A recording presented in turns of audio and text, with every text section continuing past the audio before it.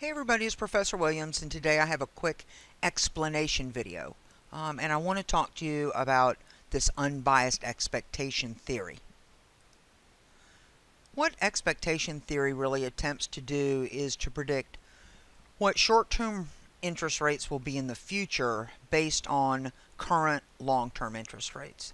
And what the theory suggests is that if we have two investors, one who invests in two consecutive one-year bonds and one who invests in a single two-year bond, their return on that investment will be equal.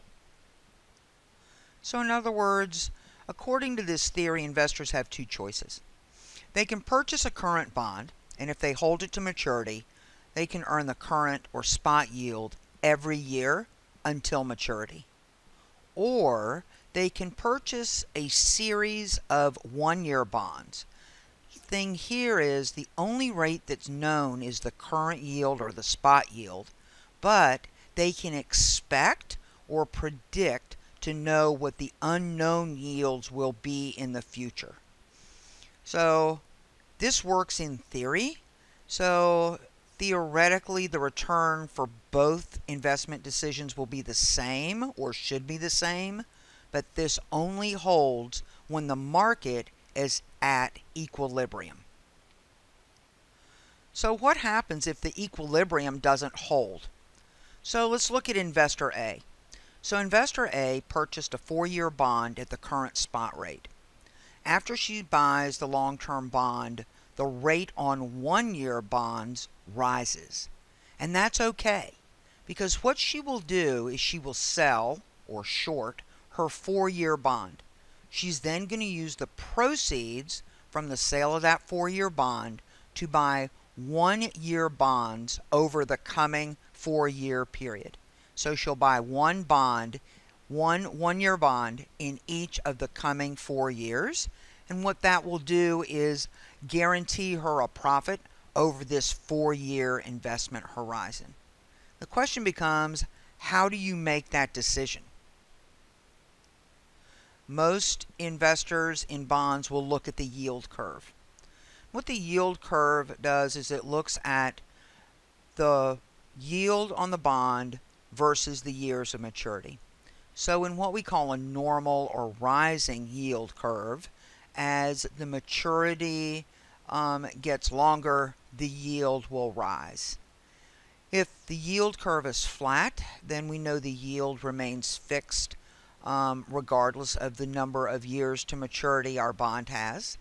And in an inverted yield curve, the longer the term of the bond, the lower the yield.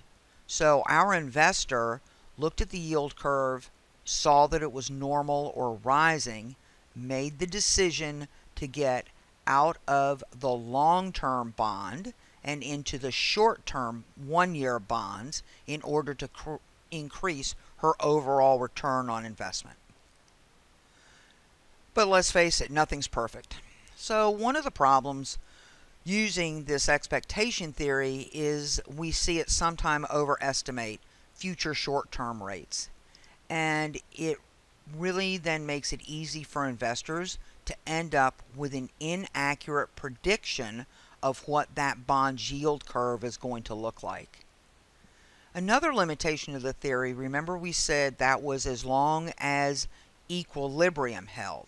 The problem is there are many factors that impact the short and long-term bond yields. Um, one example of this is if the Federal Reserve adjusts interest rates up or down. what we know is this has a pretty significant impact on bond yields, particularly short-term bonds. However, the long-term yield, those long-term bonds, may not be as impacted because so many other factors impact long-term yields, and that's things such as inflation and the expectations for economic growth. So when we summarize the limitation of this theory, the limitation is the theory really doesn't take into account all of the outside forces and fundamental macroeconomic factors that drive interest rates, and those interest rates ultimately drive bond yields. And to be honest with you, this is why we call it a theory.